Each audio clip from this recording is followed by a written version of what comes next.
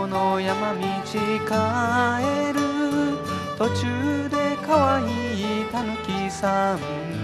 親子でテクテク歩いてた。どこへ行くのかたぬきさん。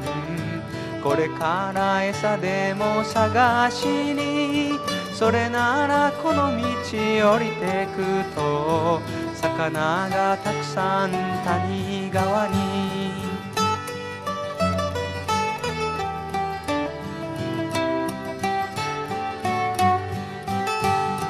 わかりました。ありがとう。この子に魚の取り方をこれから教えに行くところ。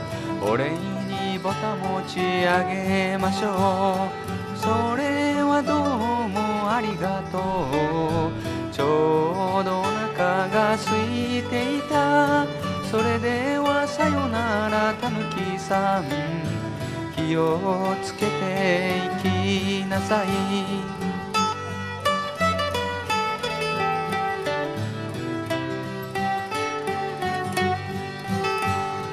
葉っぱに包んだぼたもちを開けてびっく泥団子やれやれいっぱい食わされた。